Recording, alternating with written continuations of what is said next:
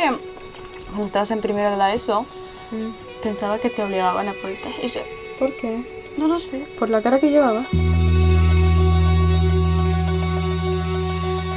Mi padre a las 9 en casa.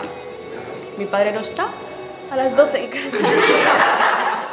Que los padres tienen miedo a que hagas cosas que no tienes que hacer y por eso pues se ponen muy pesados, se ponen más límites, pero no se dan cuenta de que cuanto más reprimes a alguien, pues más tiene ganas de rebelarse.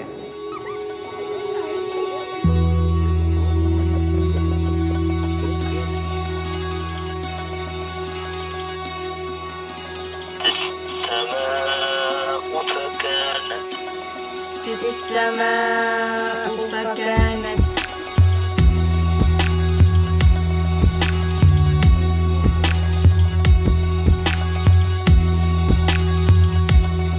Sí, a ver, es buena idea, pero...